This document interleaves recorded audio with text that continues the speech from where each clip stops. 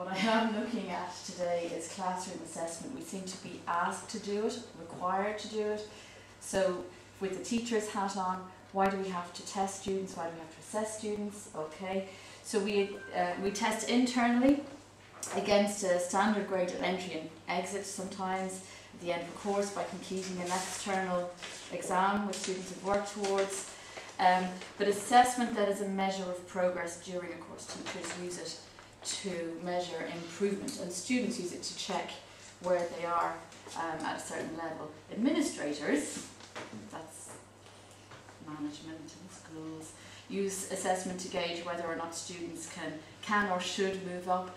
We re require documentation, lots of paperwork um, to prove that it's happening.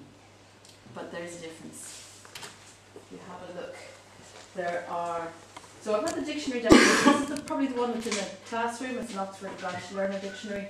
A test, evaluation and assessment. If you have a look at those three, one of them is a little bit different and two of them are very similar. Which is the one that's different? First one. First one, yeah. Um, if you think of the word, uh, the, the, the term evaluation test, it's actually a paradox. Okay, um, evaluation is forming, and this is the dictionary definition. Sometimes we need to be reminded of this because we get bogged down. Okay, so a test is an examination of knowledge, ability, consisting of questions to answer as activities to perform. I've noticed here, look, in this school we have level change tests take place weekly. Okay, everybody has bought into or developed their own entry level test. What is a level? We know the CFR gives us certain discrete um, descriptors which we have to then fit into boxes. But assessment and evaluation is different, and that's what teachers are being asked to do in classes. And this is really tricky because we think we should give them a test. But actually, what we need to do is to evaluate and to assess what. What are we assessing? What are we evaluating? These are more or less very similar, aren't they? Very similar. Um, so, yes, progress needs to be evaluated and assessed, but how? And should teachers give random or regular, say, weekly tasks to assess progress or to check language use or to pick up errors? Question for you. Are teachers trying to catch students out or catch them being good? Yeah, that sounds that's directly from a parenting course, catch them being good. But that's what we want to do when we're assessing progress. We want them to use the right, the target language that we've, taught. So the right, so we should be set traditionally, you know, weekly set tests, ticky boxes, gap fills, multiple choice. Um, these don't involve speaking in groups, but, but the traditional type of questions. Evaluation tests, I don't like the idea because it doesn't sit very well because there are two different definitions. Okay. Um, which do students prefer? It's a good question. So students are used to standardised tests from a very early age. So familiar standard tests tend not to be questions. They're more easily validated. They're reliable. Yeah. Um, they, but they can't really be expected to evaluate personal progress. Okay, so you have a class full of 12 people, you have 12 different learning rates, learning styles. Um, but tests are accepted as part of the norm, so there's, there is a place for them. Uh, but actually uh, we find students like to have an opportunity to practice what they're learning. So task-based activities are really popular. Of course they are, in the classroom. So my question is how can we use these to assess and evaluate progress? This is our challenge, okay? Um, students like to have feedback, which shows that they've achieved the ability to do something or that they may need more practice. And, and you might need to go back and redo something. So which one is better? The multiple choice gap fill or a group task which is checking speaking along with individual feedback? This is what I'm trying to work towards.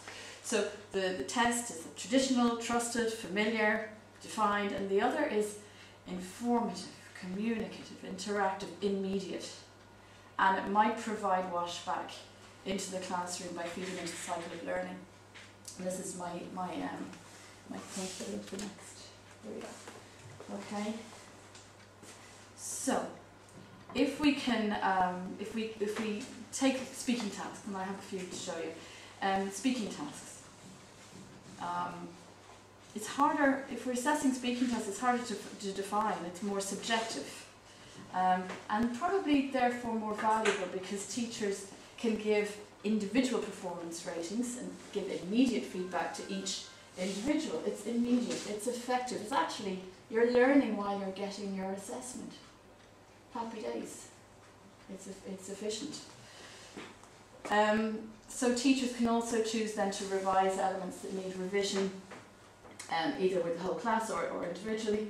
So we look at, this is called washback. So we sometimes hear about the washback effect when we're learning about tests.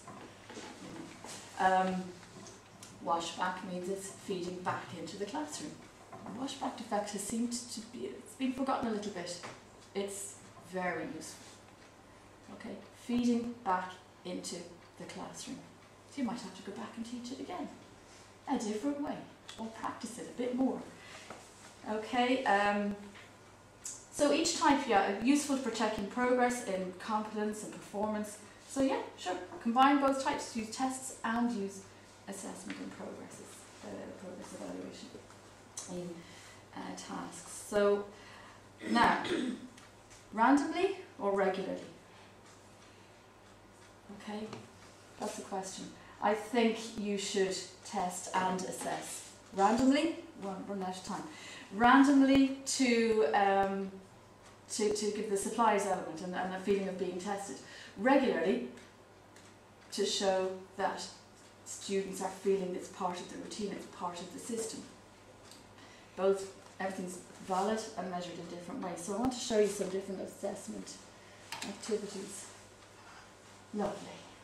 The big ad. Oh, I've got a DID one here. You could equally have Power City one, Harvey Norman. Alright, so let's take we've got three different groups in the class. Alright, I'm going to give you, you're going to have the DID ad, and you guys are going to have the City ad, and you guys are going to have the Harvey Norman ad. And it's quarter size Irish Times, so it's a decent size. Now, there's only one, I'm not going to make photocopies. No photocopies. because why? We all have our phones. And in the group, you, everybody has the, the page. Basically, you set questions and answers. You keep a set of questions, and you have a set of questions and answers. You keep the answers for yourself. You give the questions to the other group. They have to discuss, find. Um, what kind of test is this replacing? And is it testing? Is it assessing? one thing um, I should say is that if you have one copy, you'll find people take out their phones and photocopy and then they have their own little copy.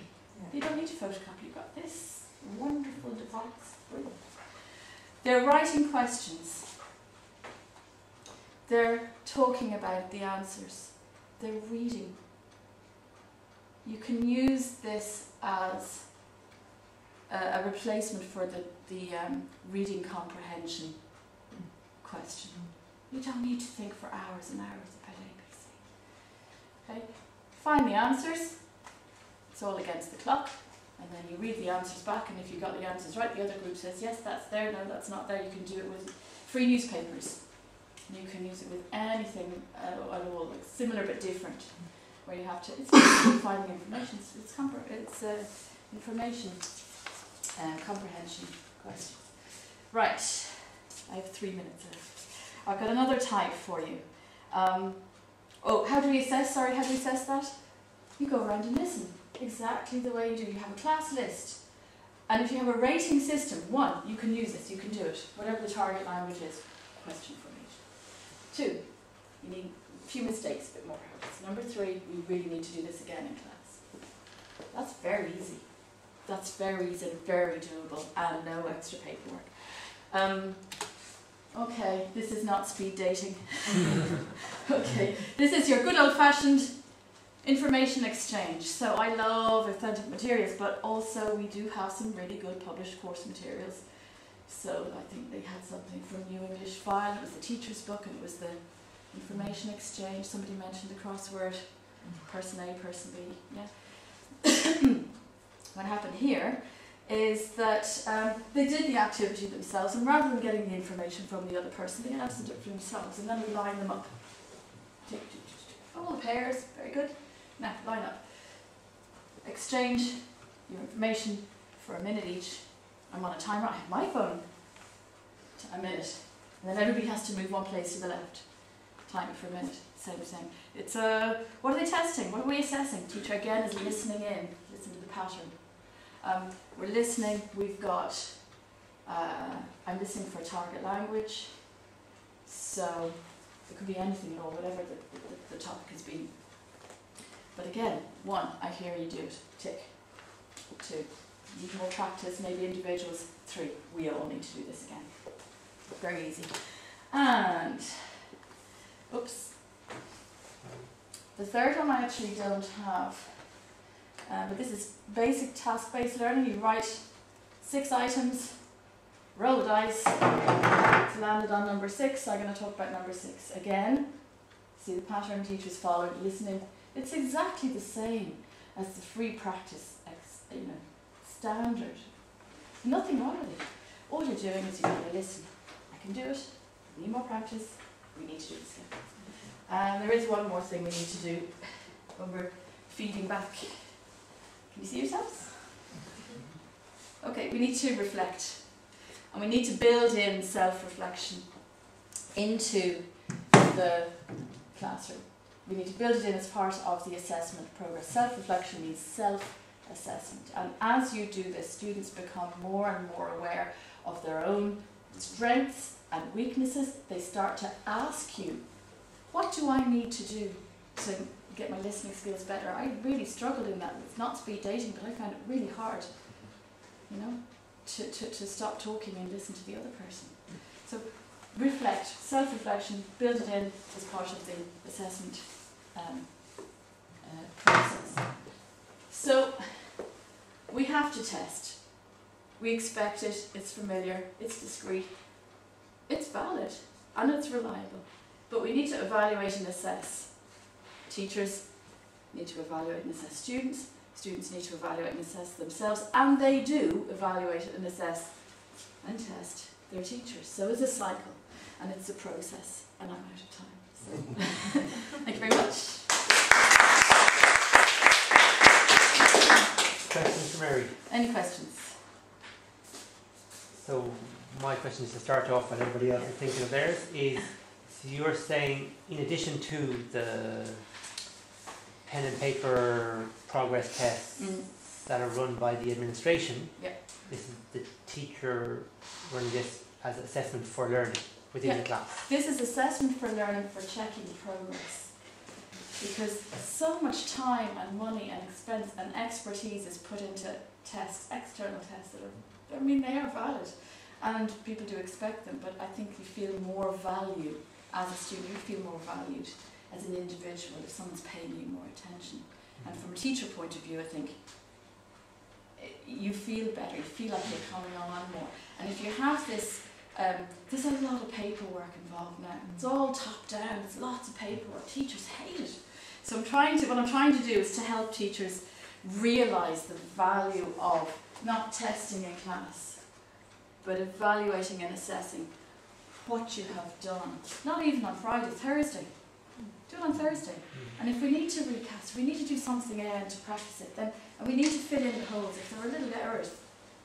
Right, let's do it again. We could be doing second conditional and people have missed out the, uh, the subjunctive, if I were, if I was, if I were. So we could have a whole little talk about that then on Friday. So part of your learning, you're assessing, yeah, you're assessing people, see where the gaps are, fill them in. So it's all part of learning and it becomes a cycle then. But the self-reflection, it's really important to build that in. It does, I don't think you need to spend a lot of time in class either. So it's, I don't know if it's kind of an extra topic, but um, we're talking about how you, you can see the gaps in learner knowledge by, by kind of mistakes they make or, or errors or whatever. And how do you develop that in teachers? I, I get it all the time. Say teachers do speaking exams or do assessments with students, and they say, yeah, they make lots of mistakes, but I don't know What are the mistakes? what are the mistakes. When you're starting a ta- an activity like that, you say, I'm going to, I'm listening for particular things. Yeah. Because we're a lot of the time where we're told to let let it go, let it go.